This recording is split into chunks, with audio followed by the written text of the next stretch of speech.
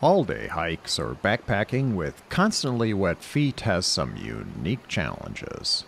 Let me show you how to get through our River Canyon hike without getting blisters or frozen feet. If you're considering one of the famous canyon hikes like Aravaipa or Oak Creek Canyon in Arizona, the Gila in New Mexico, Paria, Sulphur Creek, Coyote Gulch, or the Zion Narrows in Utah, then you'll want to hang around so you can have happy feet. I moved from Minnesota to Arizona in 2009 and had some experience with hiking in water from my Superior Hiking Trail backpacking trips. But I didn't really learn how to do watery hikes until I began doing canyon hikes in the Southwest. My first and most frequent watery canyon hike is Aravaipa Canyon because it's spectacular, only an hour and a half drive away, and I can do it either as a day hike or a three day backpack. Let me start out by dispelling a couple of obvious questions. First, why not just wear waterproof boots? Even if they are knee high, you'll get water in them, and because they are waterproof, they don't drain or air dry, so you'll have wet feet for the rest of your trip. Also, they are really heavy and stiff, so your legs will get sore and your feet will blister.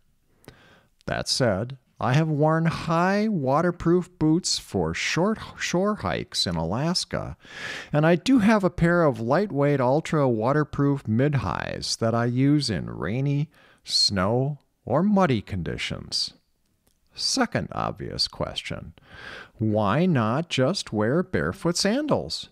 I've done this with Xero sandals, but unless you have bulletproof feet, you just won't last do wear these with Injinji toe socks if you want to try it. I've also tried chacos for portaging a canoe in the boundary waters and ended up with my feet rubbed raw. So just wear socks, you say? Grit, dirt, and sand will pass through your socks and make your feet miserable. It's also easy to slip on rocks and lose your balance when wearing sandals. They just don't stay in place as well as laced shoes or boots. So much for things that don't work. Let's have a look at common problems and solutions. When your skin is wet for a long period of time, it gets macerated and prone to blisters. The way to prevent blistering is to wear smooth merino wool socks. Especially in sandy water, grit can grind your skin and cause abrasions. The solution is not to wear water shoes, but something like trail running shoes with gaiters that completely enclose your feet and keep the grit out as much as possible. I like Altra Lone Peaks, but any trail runner will do. Most people's biggest fear is cold feet, especially in winter. Heavy wool socks will help, but use neoprene socks if needed.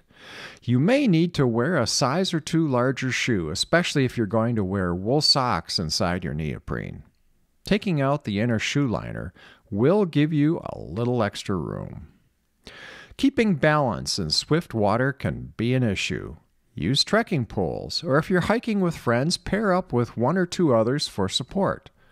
Trekking poles can also help you probe for deep spots in the river that can be hard to see. If you're hiking in rocky conditions, slipping on the rocks can be dangerous. Make sure you step between rocks and not on them. If you step on a rock, it can roll or your shoes can slip off. Last but not least, walking for a long time in wet shoes and socks is just plain unpleasant for some folks.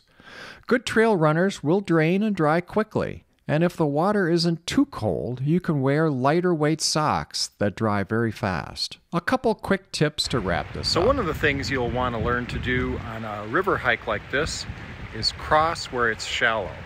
So you look for the spot where it's wider because where it's wider, the water has more room to spread out as opposed to upstream there. You can see where the creek, where the Sulphur Springs River uh, narrows and up there is not a good place to cross. The, the current will be much faster and likely the uh, creek bed will be much, much deeper. It's normally faster to walk on dry land, especially when going upstream. However, you often have to go out of your way to not walk in the water. Look for long dry stretches or try to cut corners around a bend in the stream. You'll often find worn paths at sharp bends where many others before you have found the best shortcut. I hope this little video helps you with your next water hike. Happy sloshing!